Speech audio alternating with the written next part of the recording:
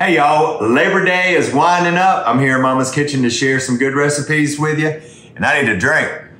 This isn't an adult drink, although it has adult flavors in it, and you can make an adult drink if you want. We're gonna cook down today, y'all, a sparkling mint and ginger lemonade. Really good, really easy recipe, and it's always fun to get to cook a drink. I'm still trying to figure out Mama's stove. I've only been here 10 years. So in a little saucepan, what we have, and I've cut this recipe in half, you'll see the measurements online.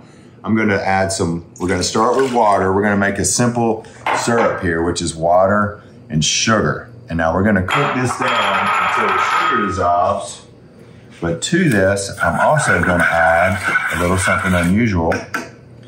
Ginger. I'm using ginger paste today. I don't have any fresh ginger, so I'm going two tablespoons of ginger paste in here.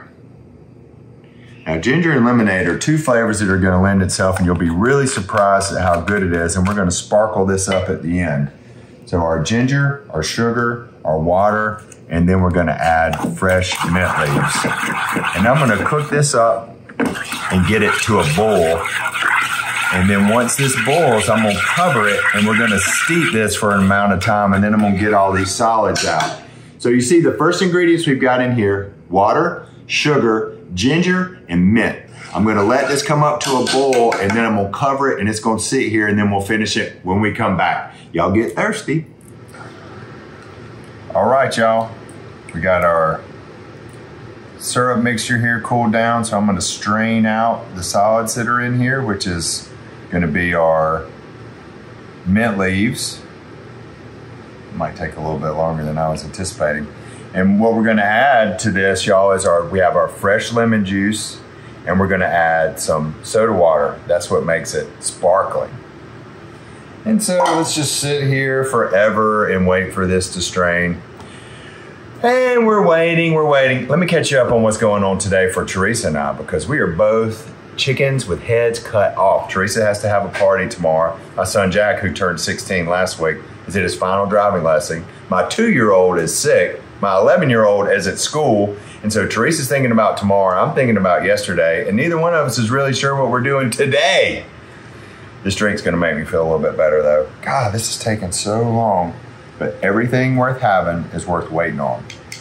See how this is kind of, I wonder what that is. It's interesting how this is cooked down and the ginger and the sugar, it's kind of turned into a solid there. I wanna make sure and get all that flavor out of there that I can.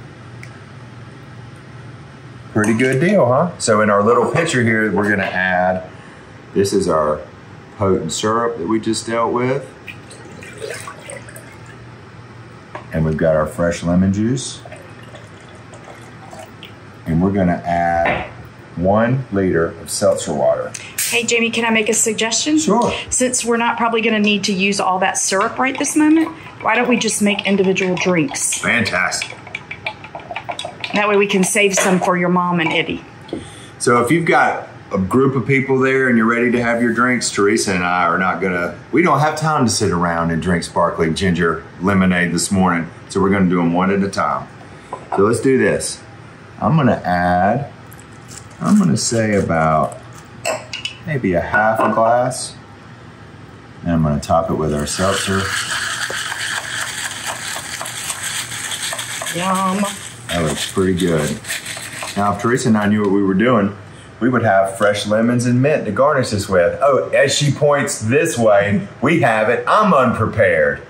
I'm thirsty though. Cheers, y'all.